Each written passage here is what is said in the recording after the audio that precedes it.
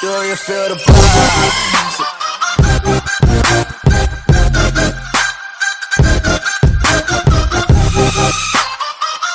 is developing its next Leon with an industry-leading infotainment system and striking new design to boost its appeal in an increasingly competitive C segment. Due in summer 2019, the fourth-generation Leon is also expected to gain a crossover variant and introduce plug-in hybrid technology.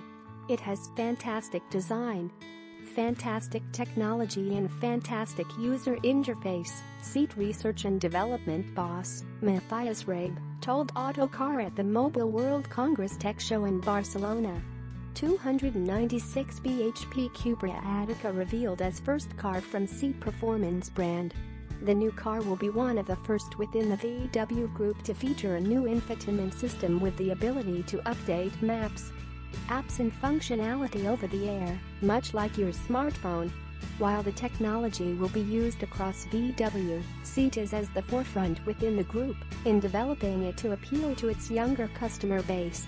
For two years we have been working on what will be the best infotainment system coming to market next year, starting with the Leon, Seat CEO Luca de Meo said at the Barcelona event. The user interface was highly praised in customer clinics, even above that of the Tesla Model X, Rabe said.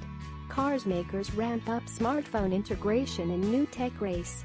Seat is so confident about the usability of the technology it will migrate much of the existing dash buttons over to the screen, including the heating controls.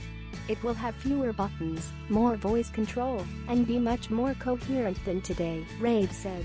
The Leon will also be available with the option of a second screen in place of the dials.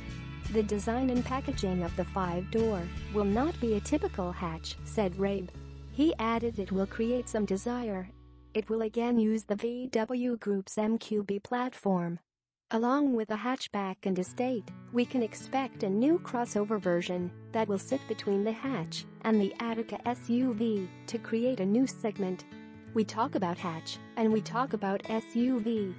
Why not make something in between? Rabe said.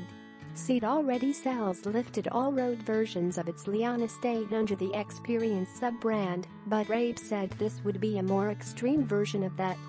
The three-door is expected to be dropped, while high-powered petrol versions will fall under Seat's new Cupra brand. Seat won't drop diesels from the lineup. Rabe said, but the range will include one of the first mild hybrid petrol options within the VW group for those wanting near diesel levels of economy. This is likely to use the 48V system mated to a 1.5-liter XI engine, as used for this Golf prototype.